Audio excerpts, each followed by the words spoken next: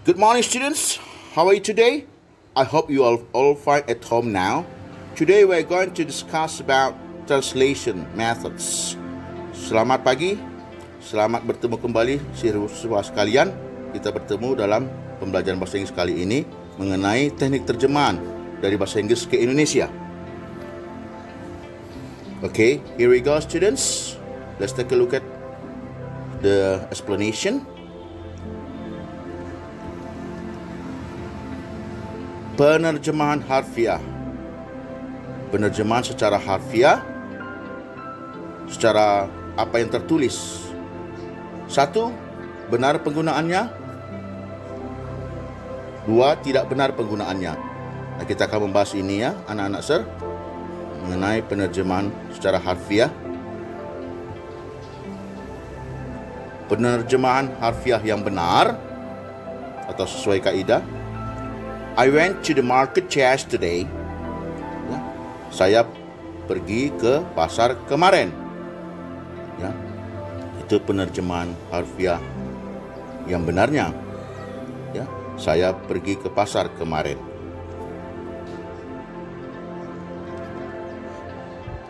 Nah, kita melihat yang contoh kedua, she lives in Sudirman Street.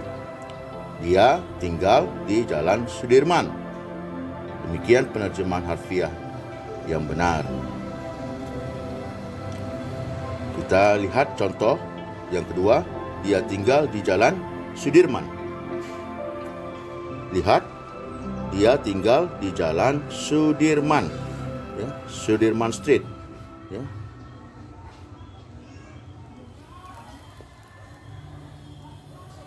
Penerjemahan harfiah yang rancu atau tidak benar atau yang salah. I cut my finger. Nah, di sini kita melihat contoh I cut my finger. Kalau kita jemahkan itu, ya, saya memotong jari saya. Nah, demikian kalau kita terjemahkan secara rancu, ya. Lihat, I cut my finger. Saya memotong jariku. Nah, lihat tanda merahnya itu berarti salah. Ya, penerjemahan harfiah yang rancu. Ya, saya memotong jariku. I cut my finger. Kita lihat. I saya cut memotong my finger jariku. Itu salah. Ya, dalam bahasa lain jariku teriris. Ya, teriris. Nah, itu yang sebenarnya ya jariku teriris.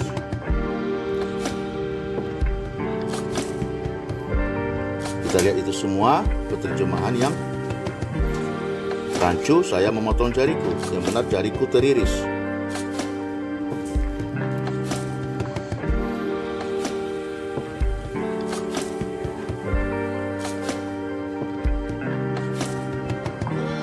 My finger was cut.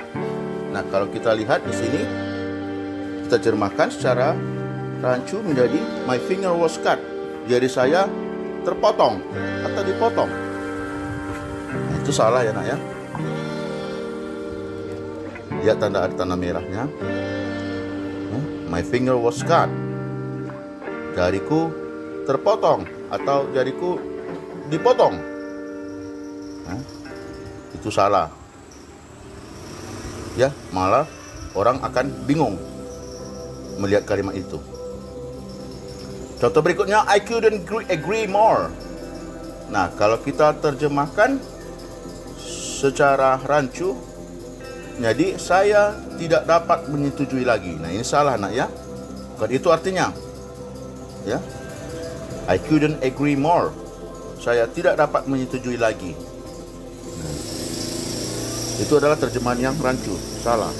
Arti sebenarnya adalah saya sangat setuju. Itu yang benar. Saya sangat setuju.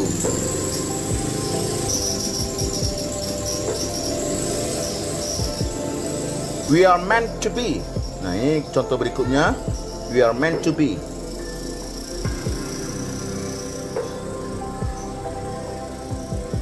Kita diartikan untuk menjadi itu pengertian secara langsung Tapi itu salah ya. We are meant to be, kita diartikan untuk menjadi.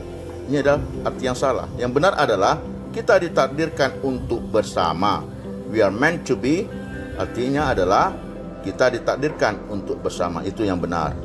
Kita diartikan untuk menjadi itu salah ya nak ya. Kamu perhatikan ya dengan seksama ya. I stand here today for the first time in 20 years the United States not at war. We've turned the page.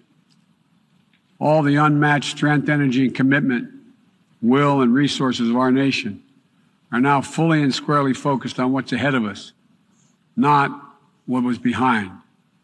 I know this. As we look ahead, we will lead. We will lead on all the greatest challenges of our time, from COVID to climate, peace and security, human dignity and human rights, but we will not go alone. We will lead together with our allies and partners and in cooperation with all those who believe as we do that this is within our power to meet these challenges, to build a future that lifts all of our people and preserves this planet.